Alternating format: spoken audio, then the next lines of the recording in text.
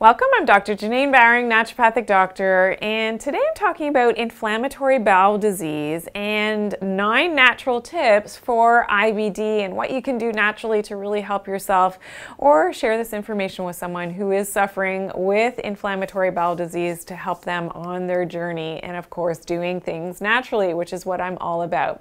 So stay tuned right until the end because that's going to be something that you probably haven't heard as it's related to the mind-body connection and and dealing with IBD naturally. Okay, so let's get right into it. Tip number one is to decrease inflammation in the body and doing this by connecting with the earth and doing something called earthing or grounding. So this is something I've discussed in other videos before. Basically, it's going barefoot out onto the grass, onto the earth, onto sand or the ground and connecting with the earth's electrons. And ideally doing this for about 20 minutes or longer is fantastic especially if you can do this first thing in the day while you're looking at the sunrise is ideal. But bringing up those Earth's electrons into your body really has a natural anti-inflammatory effect for your entire being, helping to quench and get rid of that free radical damage that we inundate our bodies with from all of those EMFs that we're exposed to on a daily basis, and of course decreasing that your exposure to the EMFs as well. Tip number two is to fix your microbiome. So definitely if there's been a history of antibiotic use, that's very much related often to IBD, but also ensuring that you're getting enough probiotics. So putting those good guys back into the digestive tract is really important to offset some of those negative organisms and parasites and candida, which can be related to IBD as we know, but also, you know, making sure that it's a high quality probiotic. So whether that's that's from foods, from sauerkraut, kimchi, and all of the, the great probiotic kombucha, which I love as well, probiotic foods and drinks, or making sure that you're taking a high quality probiotic supplement can be very helpful for reversing the IBD.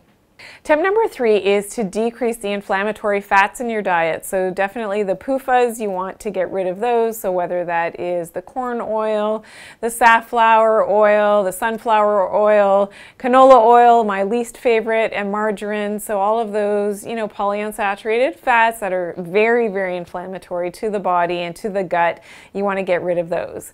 Now tip number four is to increase your healthy omega-3 fats. So of course, fish oil and DHA Is my favorite.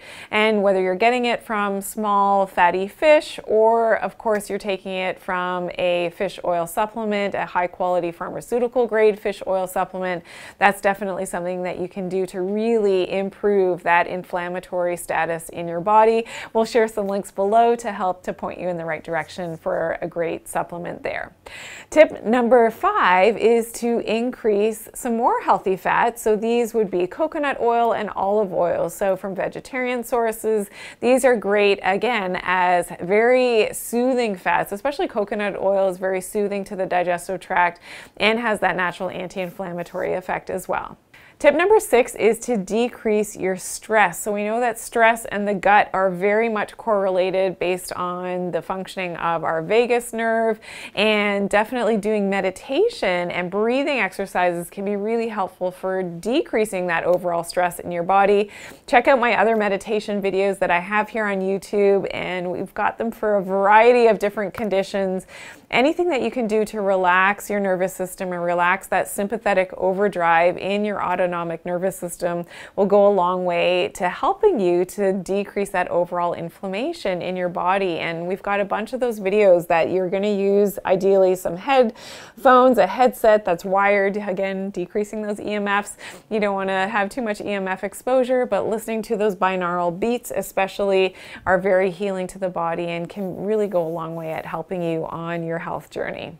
Tip number seven is to use marshmallow root tea. So this is called Althaea and is very soothing to the digestive tract. So it's known as, as a demulcent herb, which means that it has that protective coating effect on the digestive tract, which is really goes a long way when you've got some inflammation happening in the gut. Tip number eight is to use a castor oil pack. So please check out my other video on how to do the castor oil pack. I have a step-by-step -step guide on how to do that. So using it on the abdomen, especially where you have that pain and inflammation, can be really helpful for your inflammatory bowel disease, helps to relax the nervous system as well, and helps as a gentle detox. Again, you're, eh, you're applying the castor oil topically, so you're not ingesting it, really has that soothing effect on your internal organs. So make sure you check out that video. And tip number nine, which is my favorite tip, and it's all about that mind-body connection. And time and time again with my patients over the years, I've always found a connection with any type of inflammation in the gut and from the mental emotional aspect, not being able to swallow or digest what's happening and going on on in your life.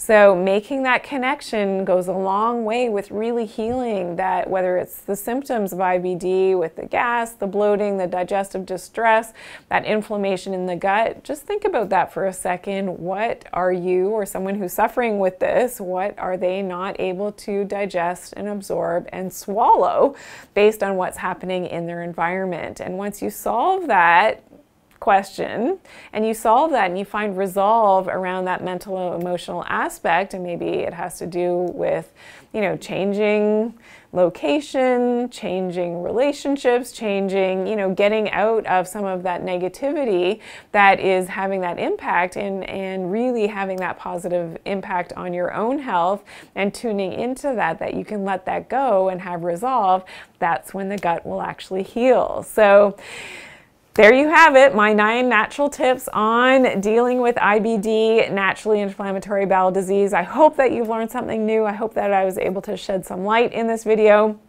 Please give me your feedback and your comments. I would love to hear from you in the comment section below and share this video with your friends, with people that you know will definitely be able to benefit from this information. And please give me a big thumbs up. I truly appreciate all of your great feedback that you give me. I love all those thumbs up. They make me feel so good. And also, if you're new here, welcome into my channel. Make sure that you are subscribed and that you click that bell to turn on all of those post notifications so you always get my newest and latest uploads, which happens every single day of the week. And remember to always take good care of your health and do it naturally. Thanks for watching today.